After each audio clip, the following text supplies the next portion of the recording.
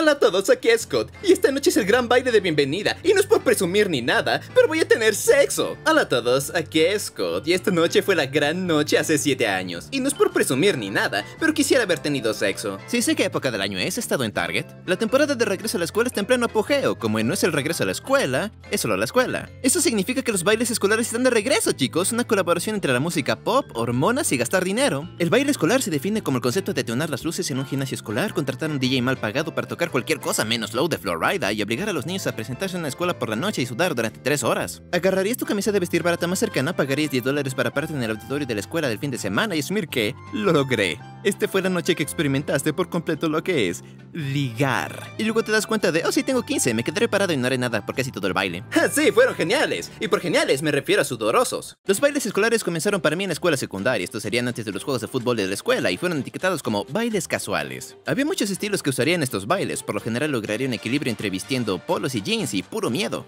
Estos no eran nada importante en absoluto, no esperaba nada de ellos, pero cuando la prepa entró en escena y camisas de vestir están involucradas, ¡oh mierda, está pasando! A lo largo del año se llevaron a cabo algunos bailes escolares, pero el primero grande fue el baile de bienvenida, y esto fue todo. Semana de regreso, pasé el gran partido de fútbol americano, una reunión de ánimo durante las clases que, ok, la educación se deja de lado durante 30 minutos dedicados a ver la banda escolar volverse loca en medio del gimnasio. Y luego el sábado por la noche de esa semana se llevaría a cabo el gran baile y y los niños fumaban y bebían antes y después. no, gracias. Verán, prefiero simplemente preguntar por qué muchos estudiantes de último año salían con las de primero. ¿Qué diablos estaba pasando allí? Verán, una gran parte del regreso fue invitar a alguien al baile. Todo lo que tenías que hacer era tomar una cartulina, pensar en un chiste e invitarlos. Se trataba de la impresión, no de ser práctico. Mientras fueras memorable y tuvieras un chiste,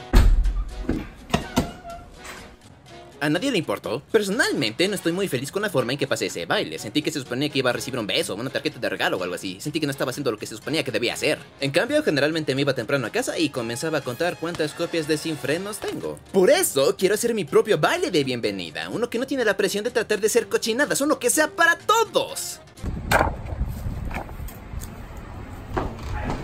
Lindo lugar, ¿verdad? Lo encontré en una venta del día de trabajo, 14.000 en vez de 15. Mi objetivo es hacer el baile de bienvenida más grande de todos los tiempos sin sexo como lo recuerdo, pero no puedo hacerlo todo yo mismo, por eso contratamos un planificador profesional. Señor, no se arrepentirá de su elección. Con mi planificación este será el mejor funeral de Hijo todos. de perra. Un gran baile de bienvenida no requiere solo sangre, sudor y lágrimas, solo sudor y lágrimas. Es por eso que haré todo lo posible para asegurarme de que este sea el mejor de todos. Convertí mi coche en un anuncio ambulante del baile y puse algunas reglas para asegurarme de que no haya embarazos esta noche. Hay una estricta política de no piel, si no se tapa para afuera. Si no cumple con esta política, debe tener una linterna pegada a la entrepierna. Sí, lo dije bien. Esto es para asegurar que las cosas no se pongan demasiado seguras cuando las luces se atenúen. Y si las cosas se salen de control y es donde nuestro chaperón de confianza entra en escena, ha sido violentamente condicionado para resistir todas las formas de alcohol, drogas, violencia y sexo, y más importante, sexo.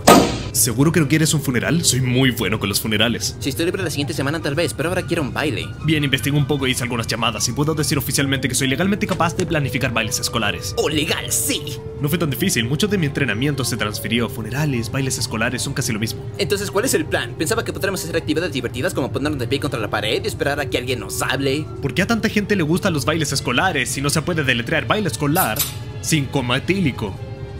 ¡No! Solo quiero un baile escolar donde nadie ligara. Ahora que respaldamos todo lo relacionado con ligar, todo el mundo va a ligar. Aquí están los nuevos anuncios. Como el baile de bienvenida es una excusa para empedarse para muchos alumnos, este será el primer baile que respalde el alcohol, uno en el que no te preocupes de que el chaperón delate tu adicción. Así que ahora estamos adulterando todo a propósito, adulteramos el ponche, la comida, las urnas. No nos acuses. Mira, aquí está el DJ que tenemos. DJ Abstinencia, DJ para estudiantes. Ah, Scott Wozniak, saludador de DJ Abstinencia. No se decepcionarán con mi servicio. Hice la mejor playlist para niños de la mitad de mi edad. Todo está aquí en mi laptop de confianza.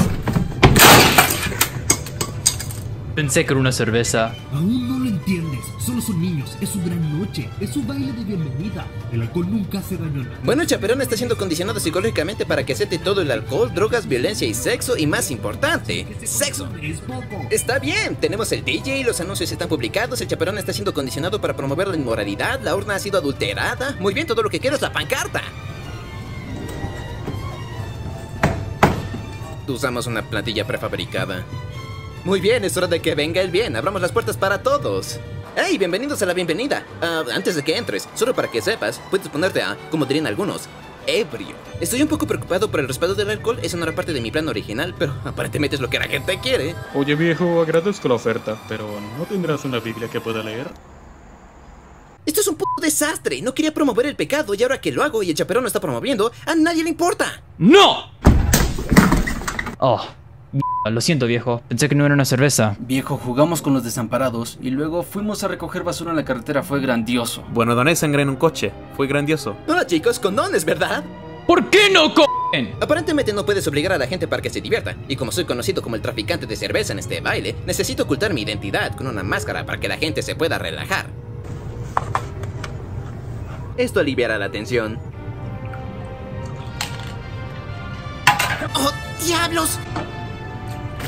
¿Por qué hiciste eso? Para que la gente se distraiga con la mancha de ponche y no se dé cuenta de que parezca que me oriné. Oye, Scott, el ataúd acaba de llegar. ¿Dónde lo quieres? Ok, la- ya te lo dije, este es un baile sin ataúd. Oigan, solo diré esto. Llamé a la policía para preguntarle si era ilegal darle cerveza a chicos sin pedir sus identificaciones. Estarán aquí en unos 10 minutos. Muy bien, se acabó el baile, tomen sus bolsas de regalo. Esta es solo una copia de Sin Frenos. Largo. Bueno, me interrogó la policía, les grité a todos, la cerveza se cayó en todas partes, llegué a casa a las 4 a.m. y me empapé. Fue el baile de bienvenida que siempre quise en la prepa.